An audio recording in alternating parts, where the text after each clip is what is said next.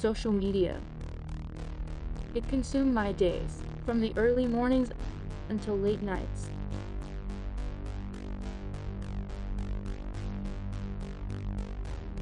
Always swiping, posting, or liking.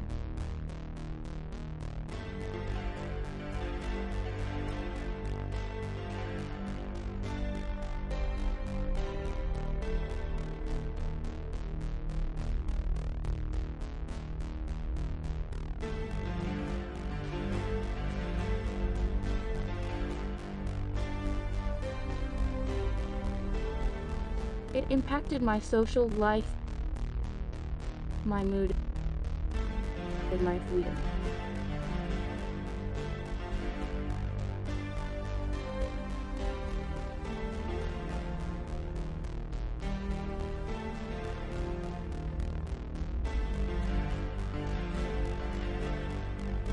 Don't live life through a screen.